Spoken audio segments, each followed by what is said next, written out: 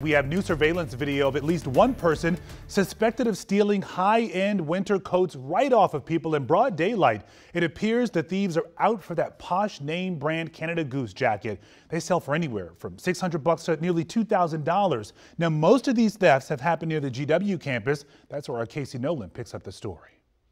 Police say this is a getaway caught on camera, and the loot a luxury label meant to be seen. Uh, I saw it instantly, went to Twitter. My sister texted me actually about it. According to police reports, at least three times this past week, once in Georgetown and twice near the GW campus, thieves have taken jackets right off people on the street. It's a violation. I think it's a violation. It's, it's, it's more, it's cold out here. And in at least one of the cases, at gunpoint. It sounds very serious and it's definitely terrifying. It's definitely definitely scary. And not just any jacket, but the high end Canada Goose jackets, seen here when they were the target of activists before the company went fur free. I know a lot of students have the Canada Goose, which is probably over a $1,000 a coat.